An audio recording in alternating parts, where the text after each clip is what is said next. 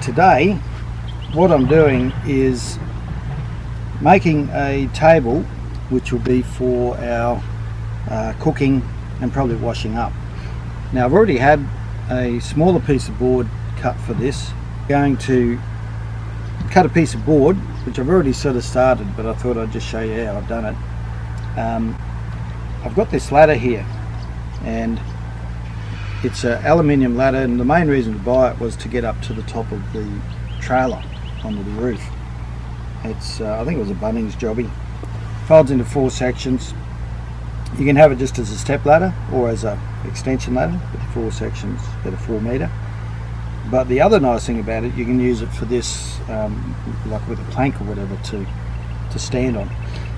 Um, utilizing that function, what I've done is cut a piece of uh, plywood. Now I did have about a three or four mil, but it had split and it was uh, not as sturdy as it needed to be. So all I've done is marked the cuttings that I had for that because it has these here little protrudences that you need to cut around to have the board sit flat on here. So I've already cut this one out. I haven't tried it on here yet because I've got to finish this one, but I just thought that we'd show you how I've done that. So basically, these ones, all I've done is I had it pencil marked and I've used the circular saw just to plunge into there. Plunge saw would have been nice, but this was quite easy to do and it, I actually lined it up fairly well.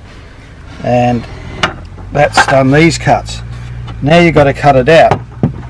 The first thing I did was use the uh, the multi-tool here to get into there but it, was, it makes a lot of noise and it doesn't really it's not really used good for this. So at first I jumped off and I managed to cut about halfway in. And then I thought nah, that's that's too hard. I'll just grab the uh, Fibro uh, Gyprock saw. And you know these are really sharp on the end with good blades. Managed to get it through there and cut this one. But then I thought I won't bother using that. There must be another way. So let's just drill a hole so for this one I've drilled a hole in each corner of there and now we'll cut out the rest of it. It's a bit of um, juggling just to, to get that in there.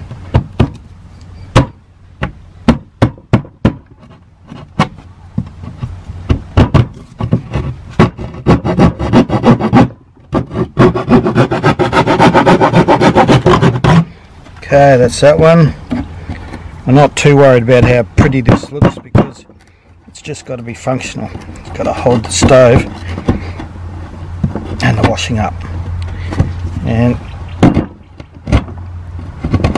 it's a good size uh, table space for not much extra gear to carry. But I'm carrying the ladder anyway.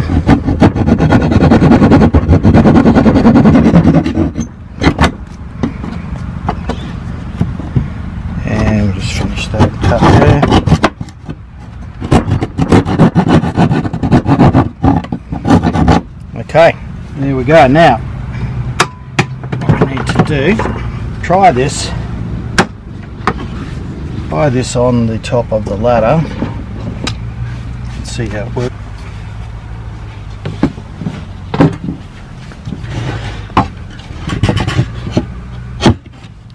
Oh, how about that? It fits.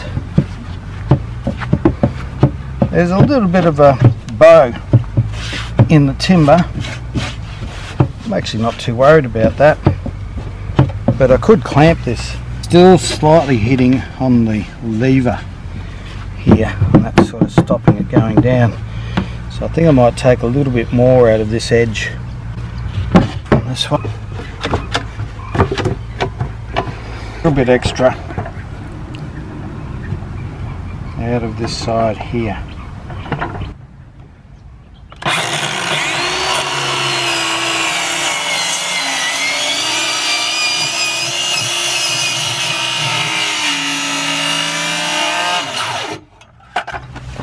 Not real straight.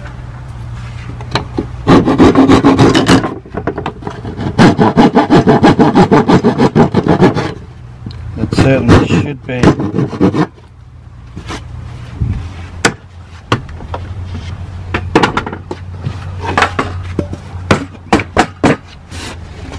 So don't give me any comments about it's uh, not much of a woodworker. I know that. I'm not much of a woodworker. Love to have the time to do more of it, but now this has got a bow in the timber, but that's actually sitting down pretty well. Just a little bit more out of this side here. There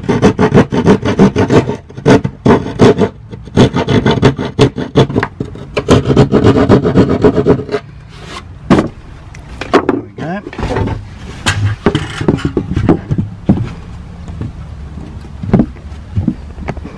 Okay, that's good. So, what we can do now is move this over here. Okay, so this will probably go about here. That's a good spot.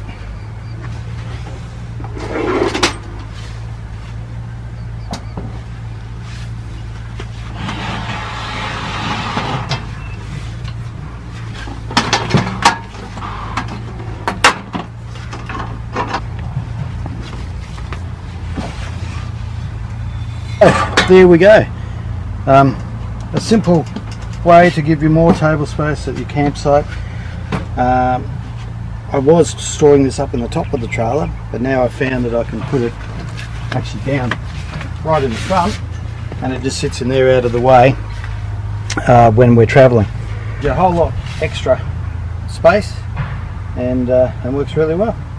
That's it for that one.